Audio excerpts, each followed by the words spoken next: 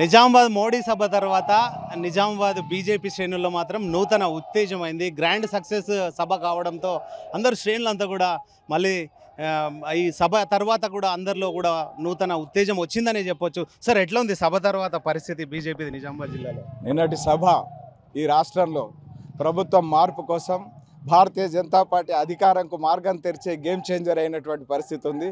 పటాపంచలు ఏవైతే అపోహలు సృష్టించబడ్డాయో అధికార పార్టీతోని కానీ మరి జాతీయ ప్రతిప జాతీయ జాతీయ స్థాయిలో ప్రతిపక్షమైనటువంటి కాంగ్రెస్తో కానీ మరి వా వాటికి స- అనుసంధానంగా ఉన్నటువంటి మీడియాతో కానీ వాళ్ళ సోషల్ మీడియాతో కానీ అపోహలు సృష్టించబడ్డాయో ఆ అపోహలన్నీ పటాపంచలైనాయి. ఇంకా రాబోయేటువంటి రోజుల్లో ప్రజా విశ్వాసంతో ప్రజల మధ్య భారతీయ జనతా పార్టీ అచంచలమైనటువంటి విశ్వాసంతో అభివృద్ధి ఎజెండాతోని మోడీ నేతృత్వంలో మోడీ కనుసన్నల్లో అధికారంలోకి రావడం కోసం ప్రజల్లోకి ఈ అధికారం అనేటువంటి ప్రజల అభివృద్ధి కోసం అనేటువంటిది కుంటుబడ్డ తెలంగాణ దోపిడీకి గురవుతున్నటువంటి తెలంగాణ కుటుంబ పాలన పాలన పదఘట్టాల కింద నలుగుతున్నటువంటి తెలంగాణ అరాచకాల మధ్య నలుగుతున్న తెలంగాణను తెలంగాణను ఆ పాలన నుంచి విముక్తి చేసి మరి పారదర్శకమైనటువంటి పాలన అందించడానికి నిన్నటి సభ నాంది అనేటువంటి విషయం ఎటువంటి సందేహం లేదు.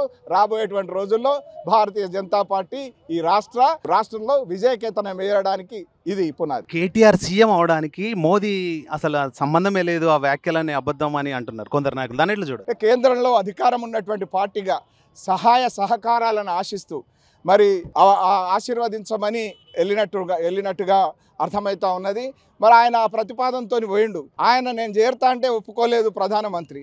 నాకు నా కొడుకును ఆశీర్వదించమంటే సెంటిమెంట్తోనన్నా మరి ఆశీర్వదిస్తారేమో అనేటువంటి అన్నని కానీ మోడీ అని మోడీ పరిపూర్ణమైనటువంటి దేశభక్తిని నింపుకున్నటువంటి వ్యక్తి ప్రజాస్వామ్యం ప్రజాస్వామ్యం పట్ల అచంచలమైన విశ్వాసం ఉన్నటువంటి వ్యక్తి పార్లమెంటుకు మొదటి అడుగు పెట్టినప్పుడు తల తల వంచి పార్లమెంటు ప్రజాస్వామ్య సౌధానికి తల వంచి నమస్కారం చేసి మరి ఆ అందులో అడుగుపట్టినటువంటి వ్యక్తి ఆ రకమైన ఆ మోదీ గారు స్పష్టంగా చెప్పారు రాచరికం కాదు ఇది ఇది ఇది ప్రజాస్వామ్యం ప్రజాస్వామ్యంలో ప్రజలు నిర్ణయిస్తారు నీ కొడు కొడుకును నువ్వు చేయడానికి అధికారం లేదు అనేటువంటిది తేట తెలియజేయడం ఒకటి చా మోదీ ఇంతకు మునుపు చాలా రాష్ట్రాల్లో హామీలు ఇచ్చారు అది ఒక్కటి కూడా నెరవేరలేదు ఈ పసుపు బోర్డు కూడా అలే అవుతుందని కొందరు అనుకుంటున్నారు. దాని మోదీ గారు కాంగ్రెస్ పార్టీ లెక్క గ్యారంటీలు ఇయ్యాడు మోడీ గారు కాంగ్రెస్ పార్టీ గుజరాత్లో అరటిపండు ఒలిచిపెట్టి నోట్లో పెడతా అన్నారు.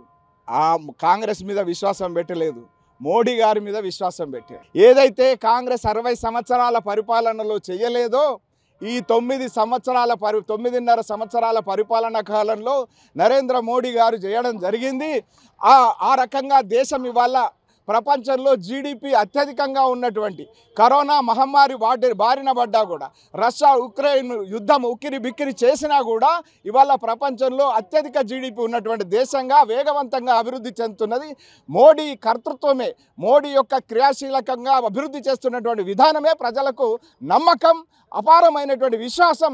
ఇవాళ దేశ ప్రజలకు ఉన్నది ప్రపంచ ప్రజలకు కూడా అపారమైనటువంటి విశ్వాసం ఉన్నది.